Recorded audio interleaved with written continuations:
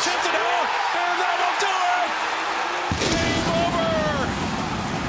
Marwin Gonzalez ends it.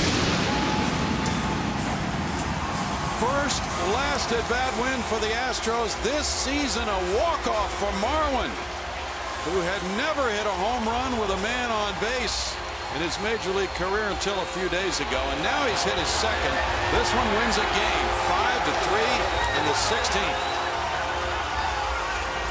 Second career walk-off homer from Marwin Gonzalez, a line drive to right. Somebody finally attacked that first pitch fastball. Marwin Gonzalez, absolute laser beam into those right field seats, much to the delight of the fans who are still here.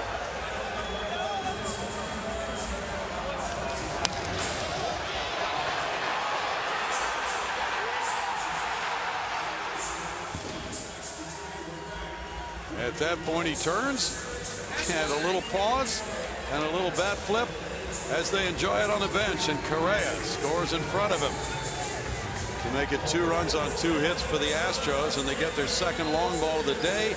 George Springer, who hit the first one, comes dancing off. And Marwin Gonzalez has won this game 5 to 3 in the 16th.